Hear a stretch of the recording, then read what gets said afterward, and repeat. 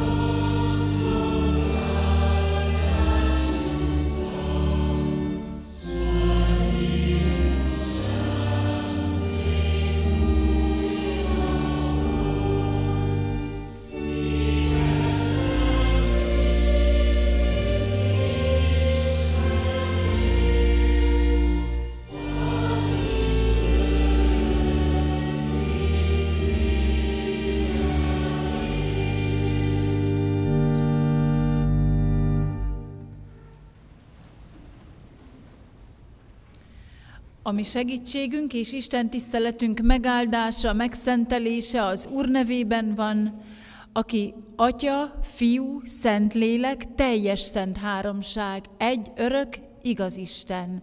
Amen.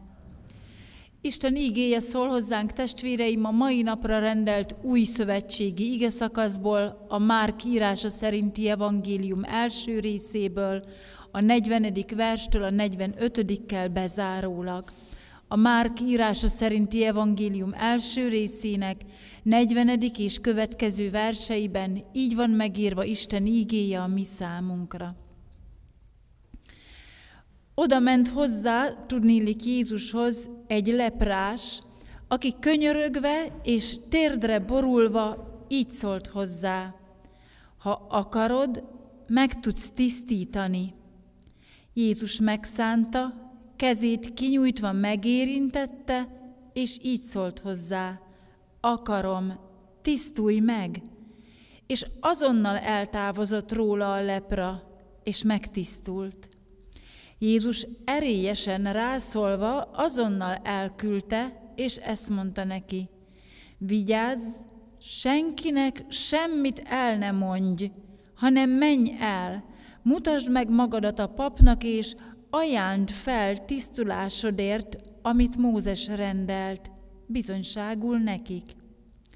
Az pedig elment, és elkezdte mindenfelé hirdetni és híreztelni az esetet, úgyhogy Jézus nem mehetett többé nyíltan városba, hanem kint lakatlan helyeken tartózkodott, és oda mentek hozzá mindenfelől. Amen. Legyen Isten áldása az ő igényének hallgatásán, szívünk befogadásán és megtartásán. Gyertek, imádkozzunk! Mindenható Isten, magasztalunk téged, mert te olyan Isten vagy, aki magadhoz hívsz, engedsz minnyájunkat. Teszed ezt annak ellenére, hogy taszítóak számodra a mi bűneink lelki értelembe vett leprás állapotunk. Köszönjük, hogy a világ kezdetétől, annak végéig mégis hívsz minden embert kegyelmed gyógyító szövetségébe. Dicsőítünk, mert most is azért jöhettünk szent színed elé, mert megtudsz és meg akarsz gyógyítani minket bűneinkből és azok következményéből, a kárhozatból. Köszönjük, hogy mint magyar reformátusok is ezért jöhettünk össze a tegnapi napon, hogy együtt valhassuk meg, milyen jó hozzád, és ezáltal egymáshoz is tartozni. Urunk, újra hálát adunk azokért a fiatalokért, akik múlt vasárnap tettek konfirmációs fogadalmat. Ad, hogy megtapasztalhassák már fiatal éveikben, hogy milyen jó neked elkötelezetten élni. Urunk, kérünk, bocsásd meg, hogy mi gyakran elmegyünk fele barátaink mellett, anélkül, hogy megszánnánk, hogy valós segítséget nyújtanánk egymásnak. Engedd most ígéd üzenetét megértenünk, hogy szeretett közösségben élhessünk veled és egymással. Kérünk kegyelmedből hallgass meg minket. Amen. Az ige üzenetének meghallgatására készülve énekeljük a 173. énekünket. Az ige hirdetésre válaszolni pedig a 300. ének harmadik versével fogunk. Most tehát a 173. éneket énekeljük.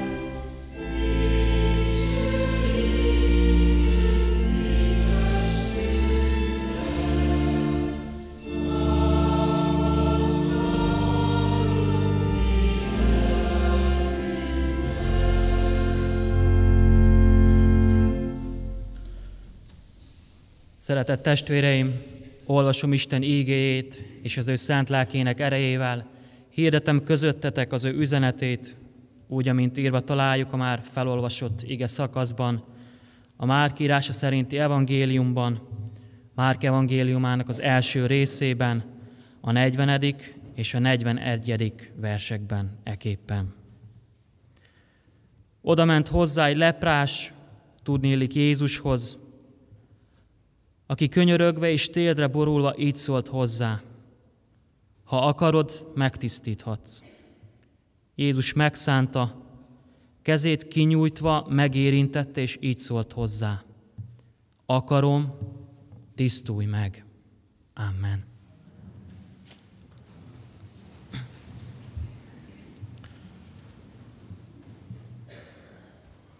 Szeretett gyülekezet, Márk evangéliste az eseményeket egészen röviden, szinte azt hisszük néha csupán tényközlő módon írja meg.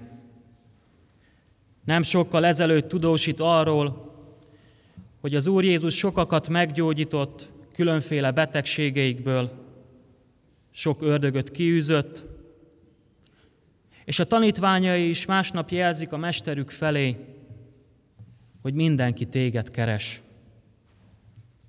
Jézus pedig ezt halva kéri őket, hogy menjenek máshova, hogy ott is hirdesse az evangéliumot. Azt látjuk, hogy gyorsan zajlanak az események. És ezután történik meg majd, hogy Jézus találkozik ezzel a leprás emberrel. Márk evangélista itt pedig ráfókuszál ezekre az eseményekre, és ennek a találkozásnak a részleteit is bővebben leírja. Hogy megértsük, hogy ez a találkozás nem is akármilyen volt, fontos látnunk azt, hogy mit jelentett Jézus korában leprásnak lenni. A lepra a nyomorból, a szegénység, szegénységből következő nyomorúság volt. A lepra azt jelentette, hogy a beteg ember teste elevenen bomlani kezdett. Nem véletlenül nevezi ezt a betegséget Károli Gáspár poklosságnak. Tehát egy konkrét betegségről van szó, amely nagy testi fájdalommal és kínokkal jár. De ez azonban nem volt elég, mert ez a betegség ragályos volt.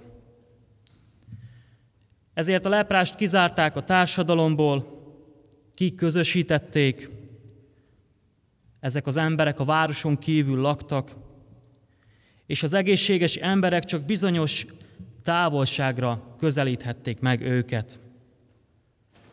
Egy rabbinikus rendelkezés szerint a leprás nem járhat közutakon, nem használhatja a közutakat, nem állhat szóba senkivel, és messziről kiabálnia kell maga előtt, csengőt vagy kolompot rázva, leprás vagyok. Azt gondolták, hogy jelenléte veszélyes, és ezen felül bepiszkítja az utakat, csak azzal, hogy rálép. És így a pap és a lévita már nem közlekedhet ezen az úton, csak ha megtisztítják azt. Tehát a leprások azok voltak, akikkel nem foglalkoztak. És nem csak a visszautasító kinézetük miatt kellett szenvedniük, hanem amiatt is, hogy nem vehettek részt a normális emberi életben. Nem élhettek a város közösségében, nem járhattak az utcákon, nem jelenhettek meg a templomban, és ez azt erősítette bennük, hogy senkinek, még az Istennek sem kellek. A testi fájdalmak mellett az emberi társadalomból való kizárás lelki fájdalmát is el kellett viselniük. És azt látjuk, hogy ennek a történetnek az első csodája nem a gyógyítás, hanem az, hogy sok leprás közül Jézus elé térdel egy leprás. És könyörögve ezt mondja, ha akarod, megtisztíthatsz engem.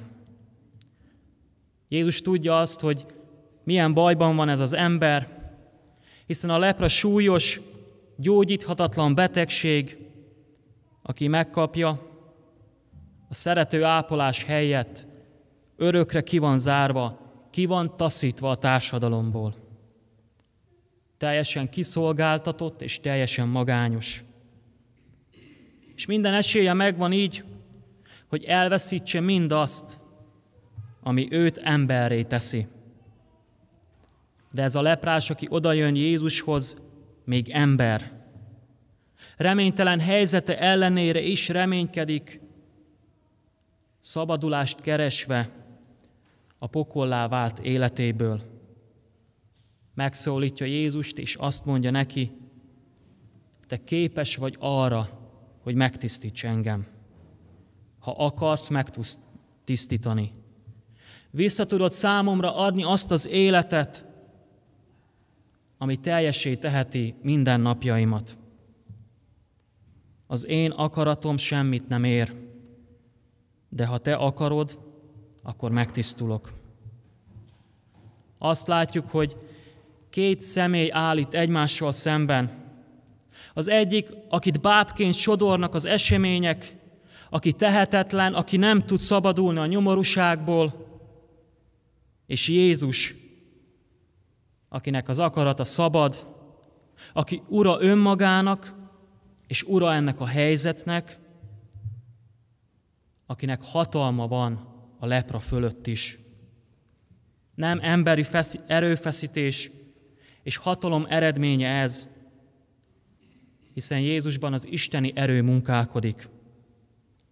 A teljes szabadság találkozik itt egy megkötözött élettel.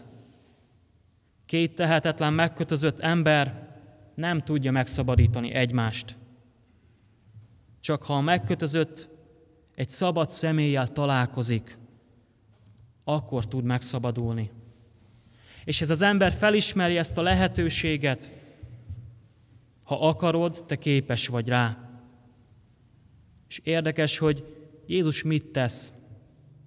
Nem csak, hogy megszánja, de még meg is érinti ezt a beteget. Elgondolkoztam, hogy nem tudom, mi megtennénk-e hitből.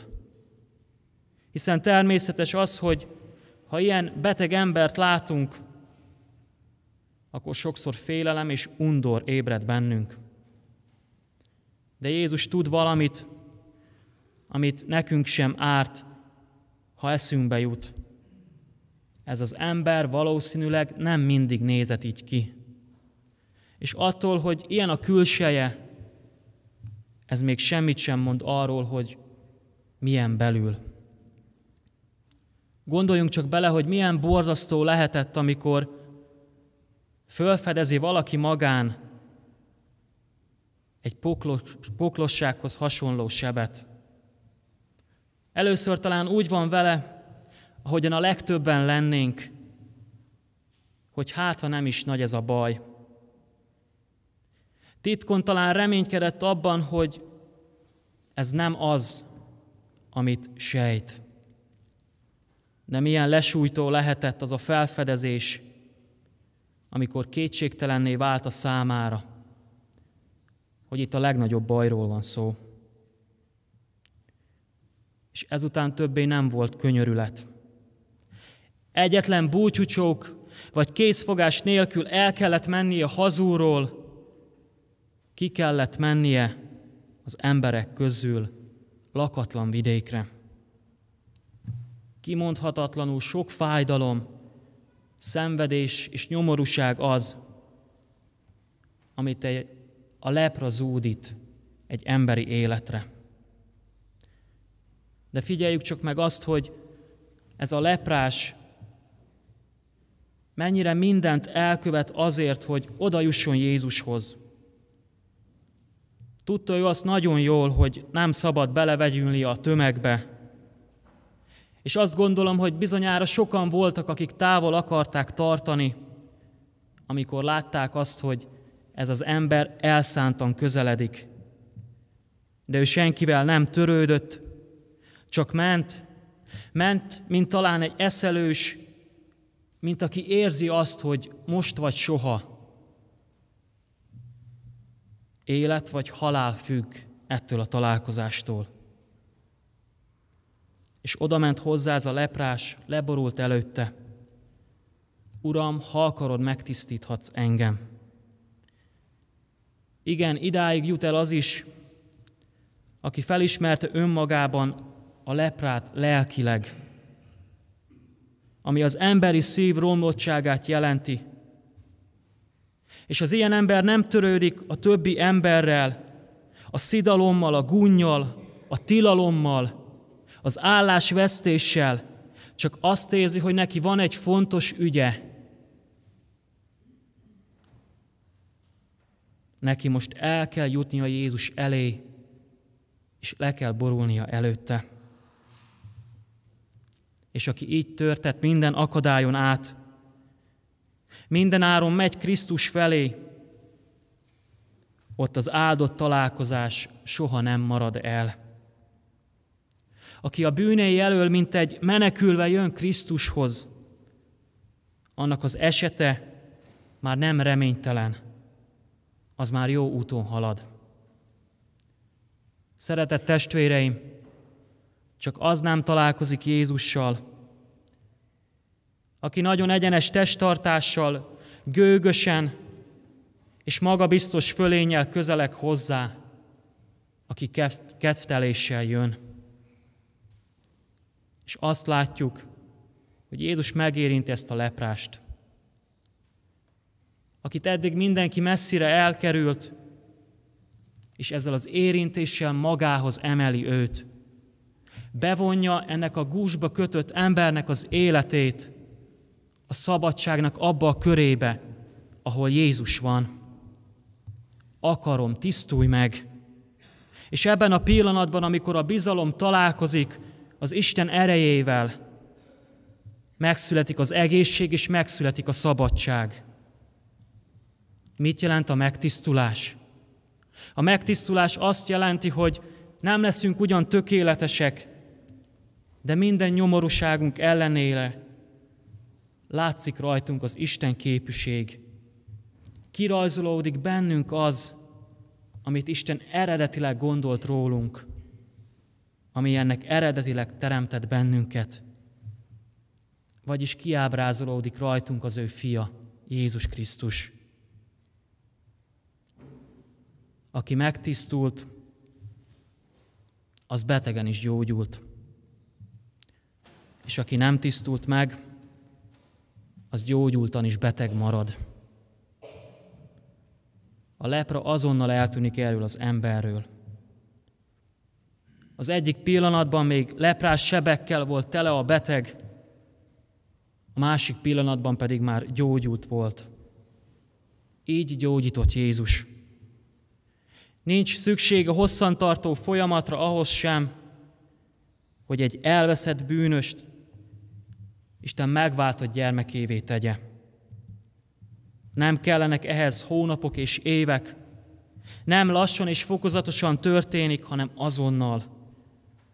Úgy, ahogy olvassuk a történetben. Egy lélek megmentése épp úgy, mint a leprási test gyógyítása az Úr Jézusnál egy pillanatba kerül. A mi Urunk számára egy nagyon mélyre zuhant gonosztevő megmentése nem nehezebb feladat, mint egy olyan valakié, akinek sokkal kevesebb teher nyomja a lelki ismeretét. Semmi különbség nincs a között, hogy valaki nagyon erősen van megkötözve, vagy kissé. Mindkettőnek egyformán szüksége van a szabadító Jézus Krisztusra. És Krisztusnak mindkettő megszabadítása akár egy pillanatba kerülhet. Úgy folytatódik a történetünk, hogy Jézus elküldi ezt a leprás embert. Azt olvassuk, hogy keményen rászól erre a meggyógyult emberre. Azt a parancsot adja neki, hogy menjen el, mutassa meg magát a papnak, mutassa be az előírt áldozatokat, és egyenlőre ne beszéljen senkinek a gyógyulásáról. Abban a korban a papok voltak azok, akik a törvény előírása szerint megállapították, hogy a leprás beteg valóban meggyógyult. És így a szükséges tisztulási szertartások elvégzése és majd a hála áldozat bemutatása után visszatérhetett ez az ember abba a közösségbe, ahol addig talán élt. Jézus Krisztus parancsa erre utal. És milyen csodálatos az, hogy Jézusnak gondja van arra is, hogy ez az ember újra beleilleszkedjen abba a társadalomba, amely azelőtt őt kidobta, hogy újra beleilleszkedjen a családi, az emberi közösségekbe. Végül így bocsátotta el Jézus a meggyógyult embert. Vigyázz, senkinek ne szólj, hanem menj el, mutasd meg magad a papnak.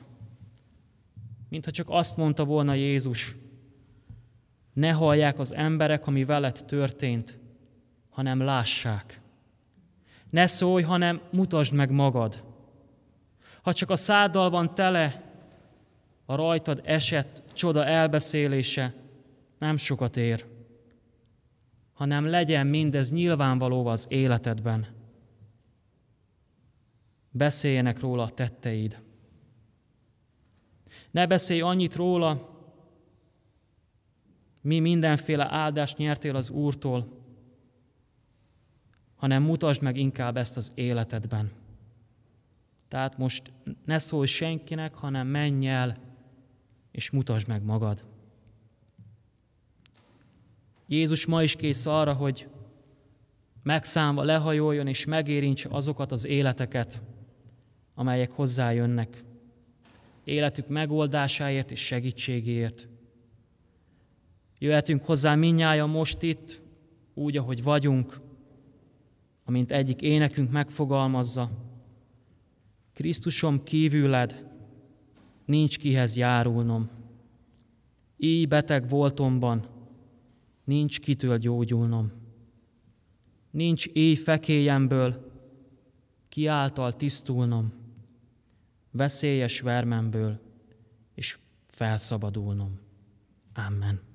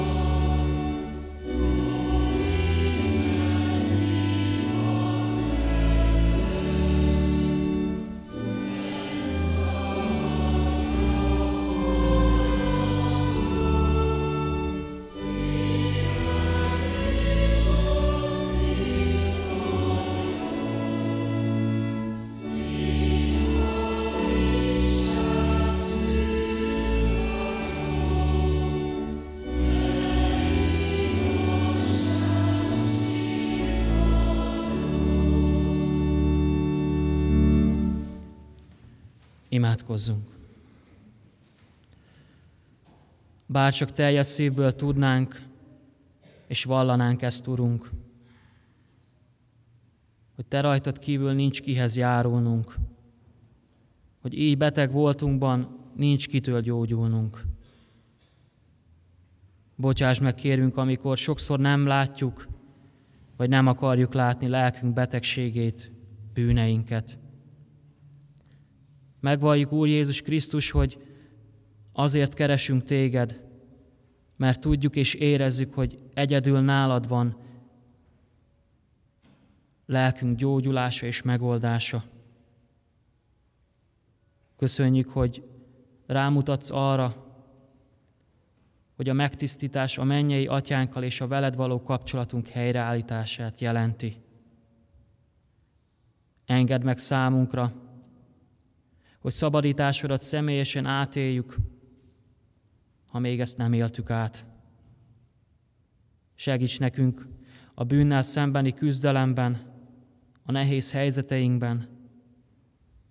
Te adj erőt azoknak, atyánk, akik különféle betegségekben szenvednek, akik hordozzák a magányt, vagy úgy látják, hogy életük összeomlóban van.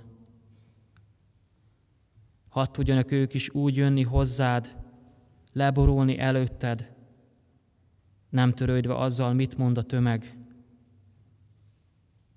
Könyörgünk szeretteinkért, családtagjainkért, hadd hirdethessük az evangéliumot közöttük is.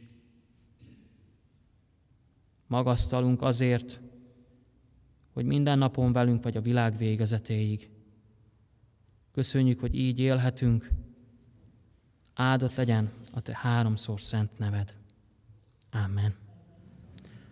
Most pedig fennállva és hangosan imádkozzuk Jézus Krisztustól tanult imádságot.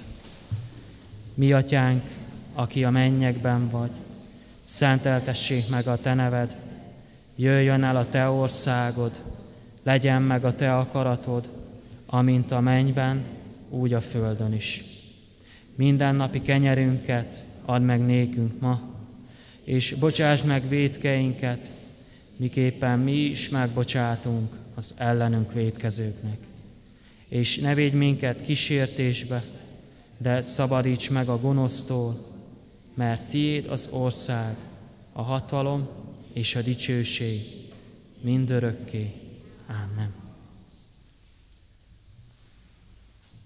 Semmiért se aggódjatok, hanem imádságban és könyörgésben mindenkor hálaadással tárjátok fel kéréseiteket Isten előtt, és az Istennek békessége, amely minden értelmet meghalad, meg fogja őrizni szíveteket és gondolataitokat a Krisztus Jézusban. Amen. A gyülekezet foglalja el helyét, és hallgassuk meg gyülekezeti életünk hirdetéseit. Kedves testvérek, ma is van lehetőségünk arra, hogy az adakozás által kifejezzük Isten iránti hálánkat.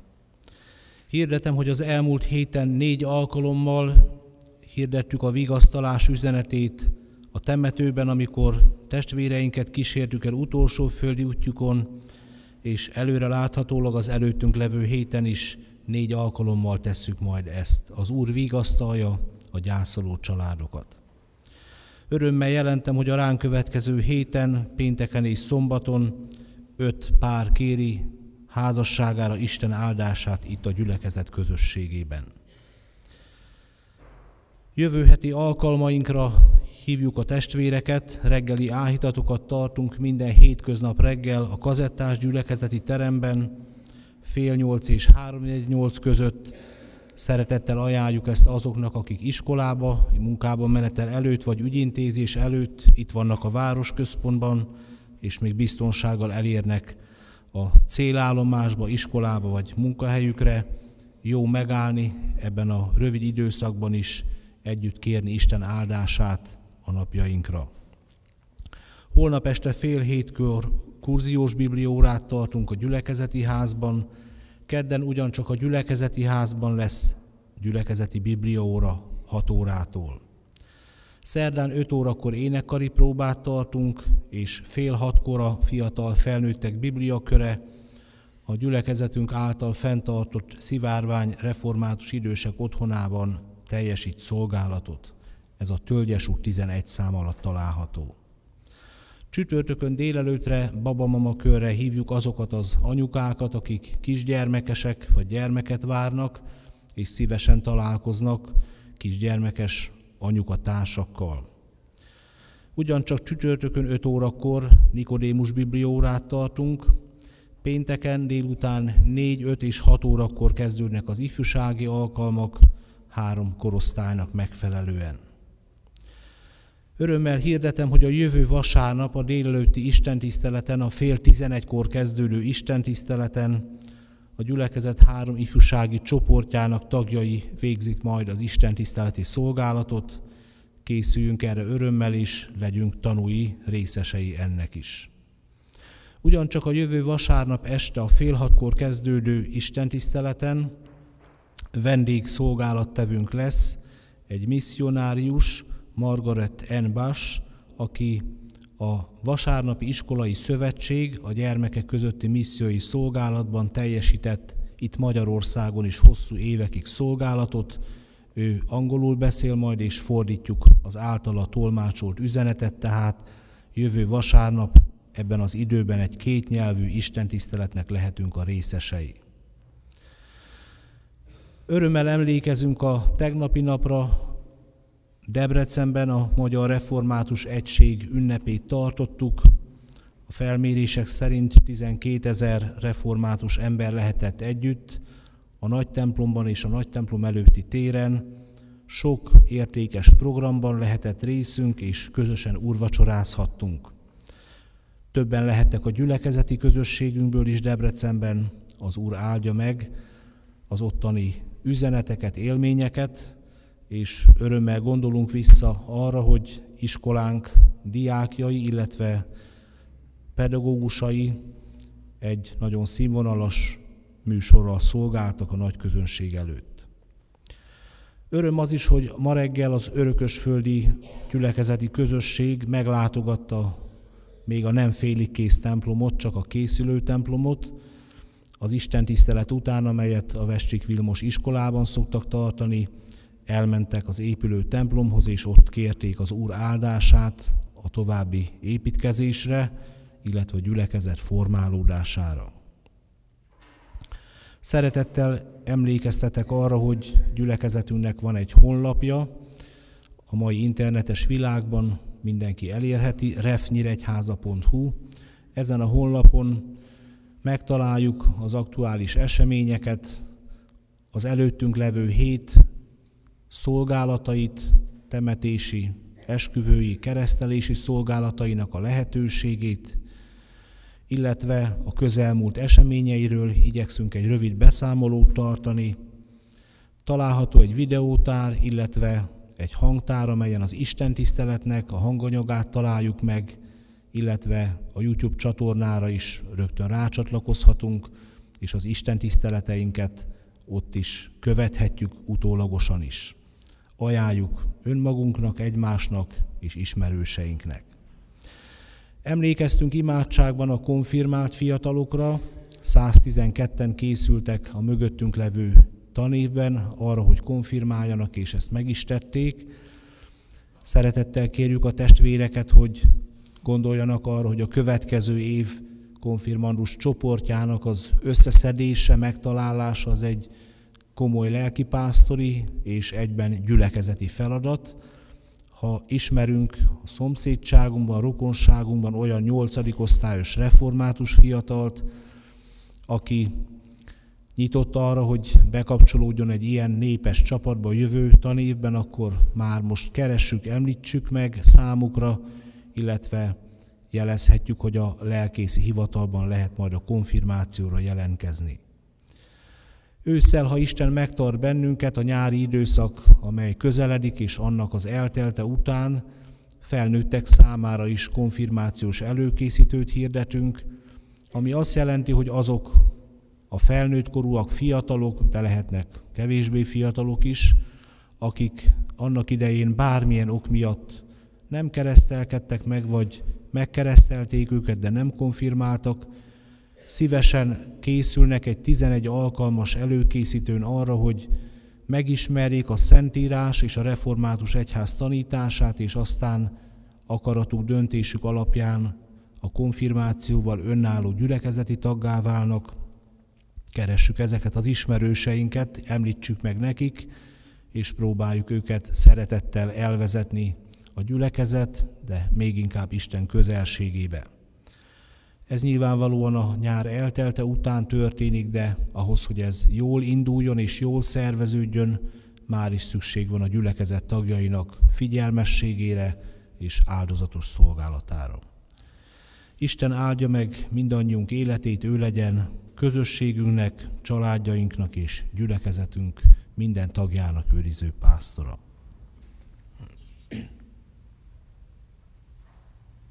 Záró énekünket énekeljük, a 261. számú dicséretünket, amelyik így kezdődik.